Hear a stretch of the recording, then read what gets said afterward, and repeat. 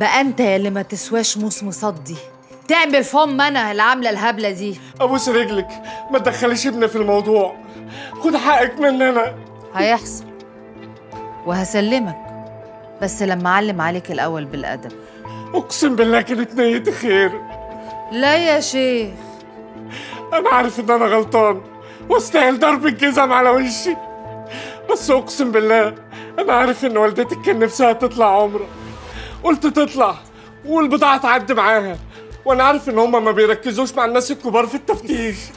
نفذ يا علاء.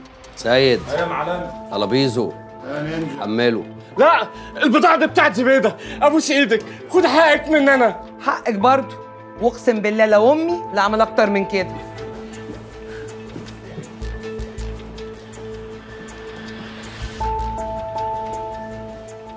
بقول لك في واحد عايز يشيل بضاعة. وهيدفع 4 مليون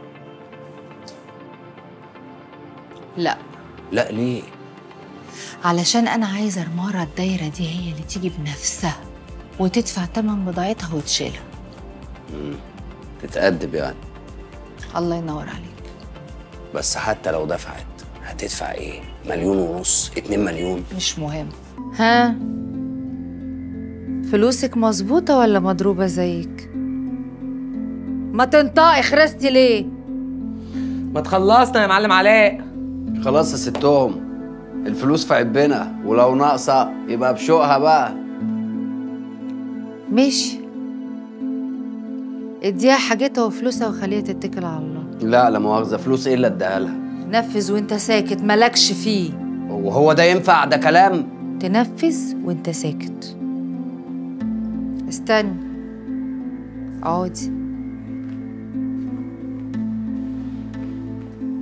شكلي كده هحتاجك قريب.